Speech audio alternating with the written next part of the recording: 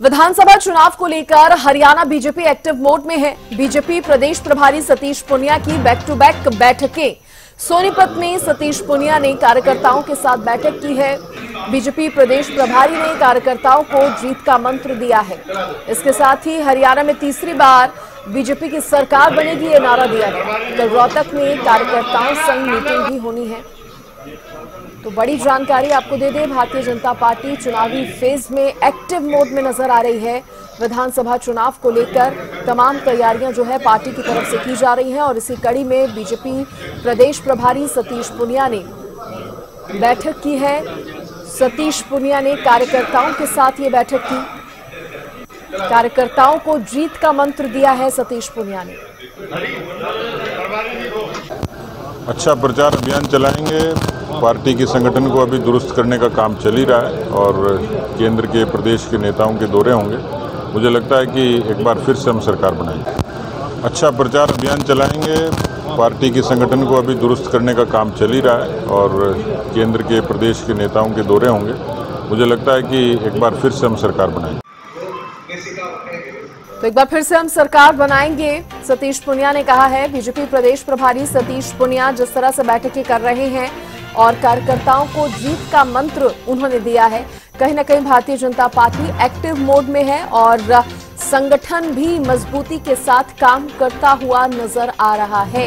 इस बीच ये बैठकों का दौर आगे भी जारी रहेगा, क्योंकि अब लक्ष्य भारतीय जनता पार्टी का तीसरी बार हरियाणा में सरकार बनाना है और इसी को लेकर ये तमाम प्रयास जो हैं वो किए जा रहे हैं। देखिए, चुनाव अब बेहद नज़दीक आ गए हैं। जिसको लेकर हर पार्टी अपनी अपनी कोशिशें कर रही है अपने अपने दावे कर रही है। सोनीपत से मेरे सहयोगी लाजपत जुड़ गए हैं। लाजपत, क्या कुछ जानकारी बैठकों को कार्यक्रम को लेकर? जो कार्यकर्ता है, उनको इन अनुमति है। उससे पहले जो है बीजेपी कार्यालय में ऐसा किया गया था। अनेक तरह की छोटी जो बैठकें हैं, उनको किया जा रहा है। मोहन बडोली, जो पार्टी अध्यक्ष है, वो कार्यकर्ताओं से मुलाकात कर रहे हैं।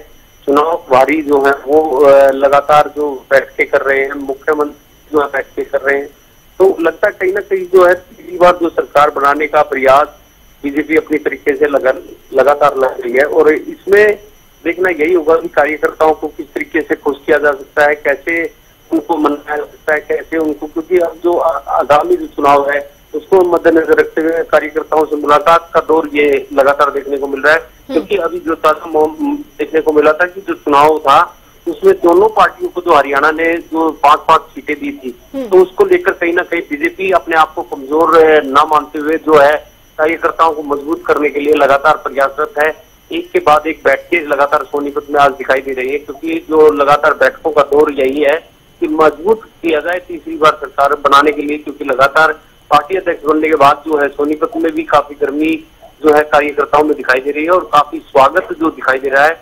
ऐसे में देखना यही होगा कि आगामी जो चुनाव है उसको मद्देनजर रखते हुए कब तक ये जो है कार्यकर्ताओं की बैठक जारी रहेगी क्योंकि जो सुनने में आए कि मुख्यमंत्री भी शाम को आ सकते हैं वो कार्यकर्ताओं से बैठक कर सकते हैं। अभी जो है गुप्त सूत्रों के हवाले से पता लग पाया है कि मुख्यमंत्री आएँगे या नहीं आएँगे ये वक्त बताएगा लेकिन जो है बैठकों का दौर ज़रूर है। ठीक है। शुक्रिया आपका लाजपत जानकारी देने के लिए। धन्यवाद।